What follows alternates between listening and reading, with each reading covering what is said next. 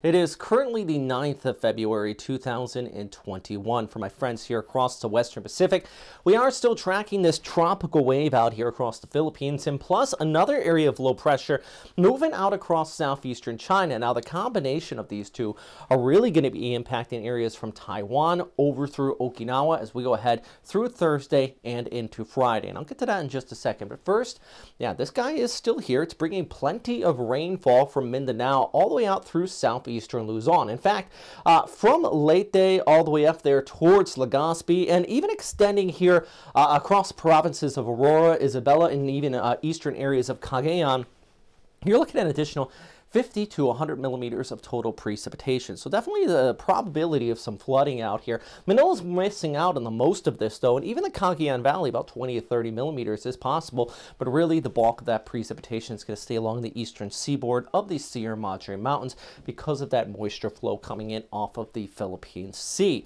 Taking a look ahead though, this is what I really want to talk about. Our area of low pressure continuing the impact here, but as we look ahead, that next low is going to really have some upper level level support coming in out of southeastern China. You can see that upper level low here with that dip in the jet stream. And whenever we get that, there's a little hook here. This kind of hooks this. It pulls it towards the north, and it really is going to fuel up our tropical wave and make this become an extra tropical low as it runs along the jet stream from Taiwan over here towards Okinawa as we go ahead over through Thursday heading into Friday. I think Okinawa Thursday night really going to be the worst of it there, but definitely that combination of this tropical wave and that extra tropical supported by a jet stream low is going to have an impact here. And let's look ahead. This is Wednesday through Thursday heading into Friday. You can kind of see that energy pulling off here. Here comes that system moving across Taiwan. Plenty of rainfall from Taipei all the way to southern areas of the island. First from the west towards the east, but then let's look ahead.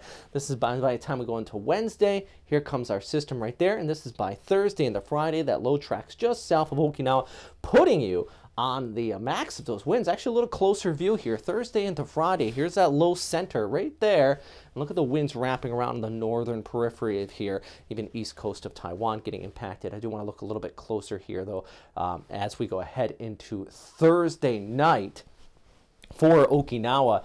You can see those winds cruising in from the east, gusts as high as 40 to 50 miles per hour. It's going to be possible here Thursday overnight into Friday morning. So for my military friends here, I, I can't stress it enough. I know it's not a typhoon, but that's tropical storm strength conditions. I mean, this is uh, damaging winds, some moderate chance here. Over 50 miles per hour, by the way, is what the National Weather Service in the United States considers damaging or severe weather. And I think we're going to see gusts up possibly that high, especially along the eastern seaboard. Now, if this tracks slightly further towards the south, those winds will be backed off, but based on the last few model runs over the last few days, pretty consistent on that tight pressure gradient with this low tracking just towards the south and that support from that low coming in from the west, really just creating all sorts of messy conditions. This is another look actually via the GFS, that was the ECMWF, a little bit of a closer look with our area of low pressure and those winds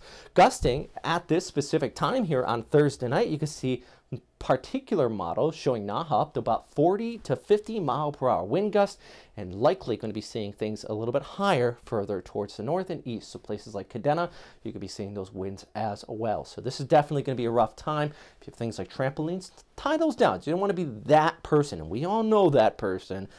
You don't want to be that one, right? All right, so here's a look at that forecast for Okinawa. Tuesday's not all too bad, by the way. Uh, but as we go ahead over towards a Wednesday, we do have that rainfall really starting to kick in by Wednesday night. Thursday is going to be an all-around mess, but it's Thursday night into Friday morning when I think the worst of the weather is going to be as that system passes by just south of you. So the main points, heavy rainfall does continue for my friends out here in the Philippines. Taiwan, Okinawa, though, an extra tropical system is going to be scooting on by with uh, those winds, which I think are going to be surprising people. Because whenever we get a tropical storm, whenever we get a typhoon, you know, that makes all the headlines. And of course, we go through TCCOR systems, especially for the military there. Uh, but these, this guy right here If you don't know about it, you don't know about it. It's just, it's gonna, I think it'll catch a few people off guard. So uh, if you see this video, you find it useful, you want to tell a friend or two, I'm not saying go ahead and share it around, but you know, if you want to help out a friend, just let them know it's to get windy. You share the video, maybe it might be a little bit used for them. All right, so thank you everybody else who's been helping me out on Patreon. If you want to help me out here, that'd be fantastic. These graphics are not free. Um, but most of this is out of my pocket and I do a lot of this as a hobby but you know if you guys want to help me out here that would be absolutely fantastic so thank you very much who has been helping me out on Patreon also follow me on all these social media platforms for some more information and of course uh, number one thing is stay safe out there oh one more thing if you haven't already, hit that subscribe button. I truly, truly appreciate it. We are not in typhoon season yet.